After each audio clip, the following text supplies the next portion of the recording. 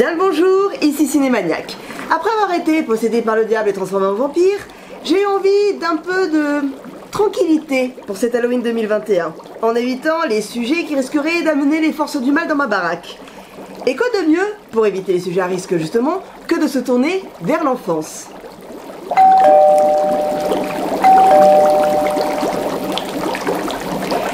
Je reviens.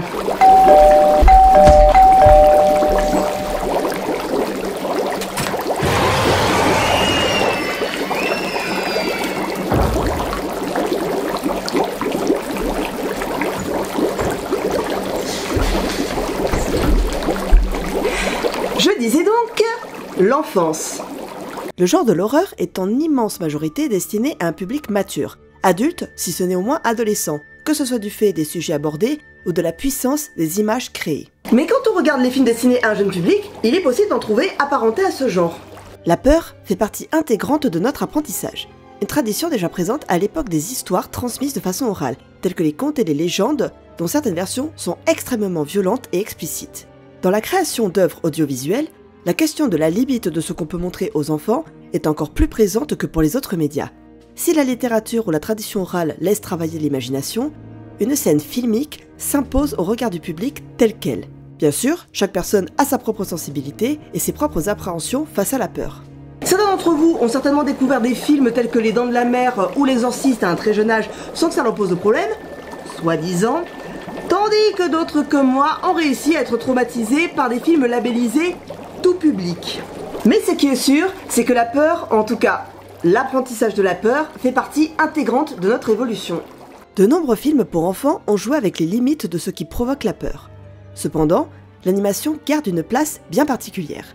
Déjà car cette technique permet une liberté de création, avec laquelle les effets spéciaux et pratiques de la prise de vue réelle ont mis des décennies à rivaliser, mais également car l'animation permet une distance avec ce que l'on voit. L'impression de réel n'est pas le but premier et ainsi l'impact n'est pas le même.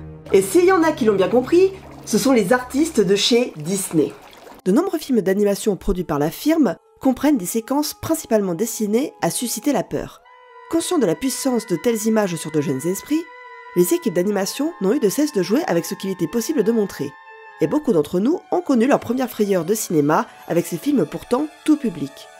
Cependant, si on regarde la chronologie des productions en nous concentrant sur les classiques, on remarque qu'à partir de la seconde moitié des années 80 et pendant toute la période de renaissance du studio, ces scènes se font de plus en plus rares. Et bien que ces films ne cherchent pas à éviter les thématiques matures ou les images marquantes, notamment au niveau des morts des antagonistes, ils ne présentent plus de séquences dont la finalité est de susciter la peur. Et le film qui a amorcé ce changement en allant un peu trop loin, c'est Taram et le chaudron magique. Pendant des siècles et des siècles, ce chaudron resta caché, attendant son heure, car de méchants hommes le cherchaient, sachant que celui qui le posséderait aurait pouvoir de ramener à la vie une armée d'invincibles guerriers, et grâce à eux, de régner sur le monde.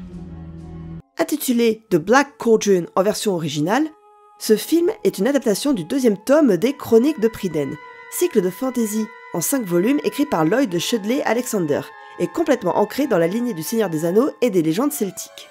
Dans les cartons depuis 1971, la production est officiellement lancée en 1980.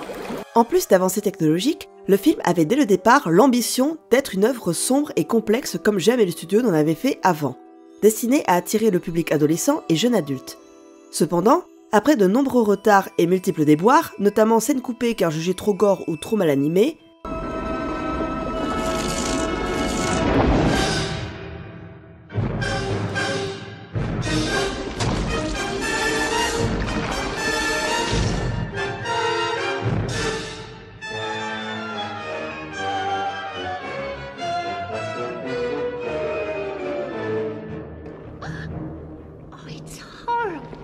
Le film sort en 1985 après 12 ans de développement et 5 ans de production.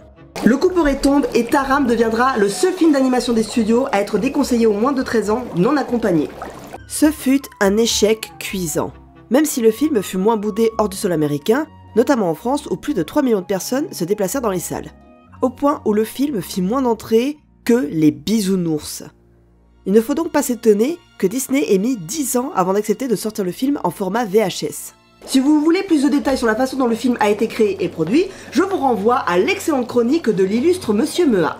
Heureusement, depuis quelques années, le film a peu à peu gagné en popularité jusqu'à obtenir un statut culte au sein des productions Disney, justement à cause de son atmosphère si particulière. Cependant, je me suis mise à me demander si la raison de l'échec de Taram en 1985 était vraiment due à la présence de scènes trop effrayantes et comment les mécanismes de la peur y sont créés. Alors déjà, en plus de la beauté de l'animation, qui est largement à la hauteur des autres œuvres de la firme, un des atouts du film est sa musique. Composée par Elmer Bernstein, qui a aussi travaillé sur les Dix Commandements et La Grande Évasion, la bande originale a la particularité de ne composer aucune chanson. Si le film en perd une des particularités des classiques Disney, il y gagne une atmosphère prenante, notamment grâce aux ondes Marteneau.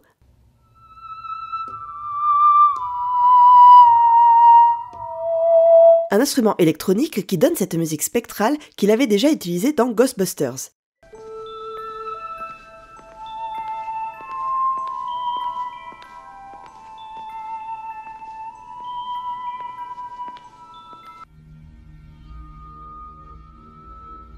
Au pays légendaire de Priden, on raconte qu'il était une fois un roi si méchant et si cruel que même les dieux le redoutaient. La grande variété de styles des compositions permet de mettre en valeur les variations les plus sombres et inquiétantes. D'ailleurs, les premières apparitions du Seigneur des Ténèbres trouvent leur côté spectaculaire en grande partie grâce à la musique. Ah tiens, parlons d'ailleurs de notre méchant. Lors de sa première scène, le Seigneur des Ténèbres n'est pas montré en entier on aperçoit d'abord son crâne de dos, qui dissimule son visage, mais montre ses grandes cornes, affichant déjà son côté démoniaque. Et tout ça sans éclat de l'orchestre. Puis c'est sa voix qu'on entend, faisant encore plus affoler notre imagination. Oh oui. Oui, mes soldats.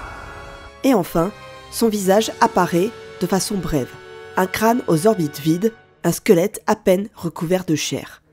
Cette première apparition, où le grand méchant reste beaucoup dans l'ombre, laisse une forte impression. La deuxième reprend d'ailleurs la même mécanique. On entend d'abord la musique, puis l'on voit son crâne cornu avant qu'il n'apparaisse en entier.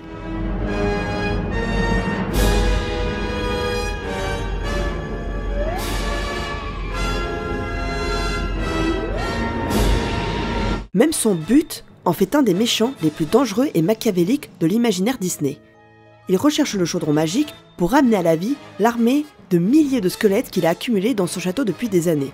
Le truc déjà bien glauque, afin de se constituer une armée invincible capable de tout exterminer sur son passage. Il préfère éliminer toute trace de vie sur la Terre si ça peut lui permettre de régner en maître absolu. Un cadavre vivant à la tête d'un monde de morts c'est assez brillant. Si ce n'est pour la robe de chambre avec le boa en fourrure, ça, au bout d'un moment, je peux plus le voir. Malheureusement, il finit par faire assez tâche au sein des autres personnages, qui sont, qui sont assez blancs en comparaison. Malheureusement, il finit par faire assez tâche au sein des autres personnages, qui sont assez pâles en comparaison. Taram est insupportable.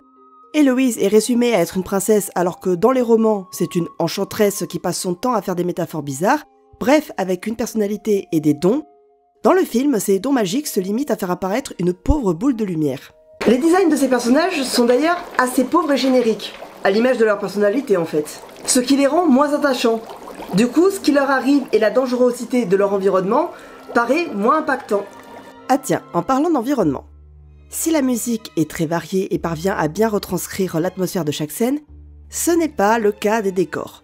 Le début des films, c'est-à-dire le début du voyage de Taram, montre des couleurs chatoyantes et de la lumière chaude, qui offre un fort contraste avec les scènes montrant le château du Seigneur des Ténèbres et son aura.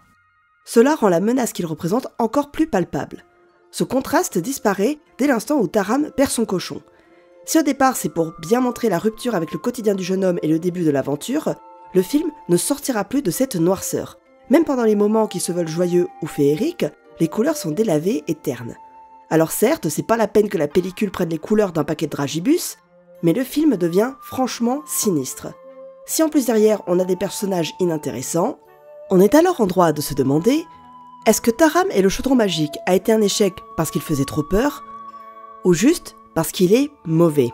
Je tiens à être très clair. Je ne considère pas ce film comme mauvais. Cependant, quand on compare à d'autres films d'animation Disney, même antérieurs, bah il fait clairement pas partie du haut du panier. Que ce soit la faute au scénariste, au producteur, peu importe, le résultat est là. Et je pense que le vrai problème, c'est qu'effectivement, le film faisait trop peur. Pour le public qui est allé le voir. Comme je l'ai dit dans l'introduction, le film essayait d'attirer un public plus adolescent, voire adulte, avec une imagerie plus glauque. Cependant, l'aspect horrifique s'est retrouvé édulcoré pour ne pas dissuader les spectateurs habitués à la patte Disney. Du coup, les plus âgés sont restés sur leur faim avec des personnages inintéressants et une intrigue maigre, malgré la beauté des images, et les plus jeunes se sont retrouvés face à des images trop impressionnantes pour eux. En cherchant à correspondre à tous les publics, les créateurs et créatrices du film ont laissé tout le monde sur le carreau. Bien sûr, les séquences horrifiques sont marquantes, mais non seulement elles se perdent dans le mescloum sinistre du reste du long métrage, mais en plus, il reste rarement autre chose dans l'esprit des gens parmi les éléments du film. En conclusion, Taram et le chaudron magique peut faire un bon film d'Halloween. Les scènes d'apparition du Seigneur des Ténèbres et de l'éveil de l'armée des morts sont encore incroyablement fortes. Et encore une fois, la bande originale composée par Bernstein en amplifie la puissance. C'est simplement dommage qu'un tel film n'ait pas grand chose d'autre à offrir. Joyeux Halloween, salutations